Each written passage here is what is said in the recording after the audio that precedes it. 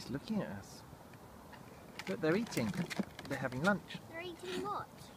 They're- eating the reeds at the bottom. That's their normal food. Yeah.